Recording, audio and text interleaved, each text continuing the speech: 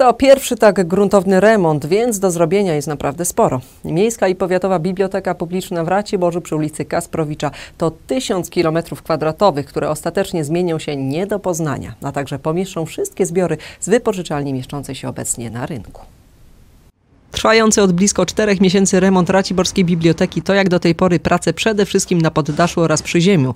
Te niewykorzystane w całości obszerne miejsca w budynku służyły wcześniej wyłącznie jako magazyny czy pomieszczenia socjalne. Wiem, że już są przebicia wszystkie zrobione, są już wylewki zrobione, e, sufity, e, instalacja elektryczna, instalatorzy, mm, co, e, instalatorzy wodno-kanalizacyjni również zaczęli pracę, bo trzeba było przesuwać grzejniki, piony.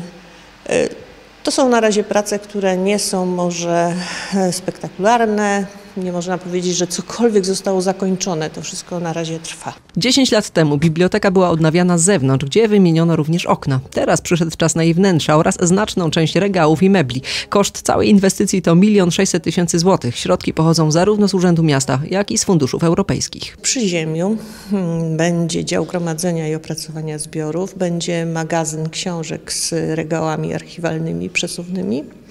E, będzie również pomieszczenie klubowe dla klubów, które e, istnieją w bibliotece, serwerownia, no i tyle, to jeżeli chodzi o przyziemie.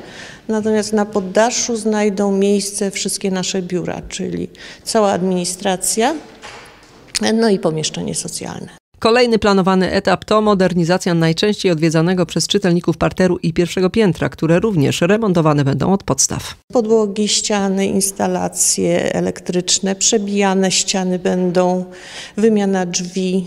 E, no praktycznie myślę, że czytelnicy nie poznają ani parteru, ani piętra, kiedy pojawią się po remoncie. Szczególnie ważnym wpisującym się w unijne standardy udogodnieniem będzie winda, która dostępna z tyłu obiektu umożliwi wjazd głównie osobom starszym czy niepełnosprawnym. Remont ma się zakończyć we wrześniu. Póki co biblioteka wciąż nie zmienia swoich stałych godzin otwarcia.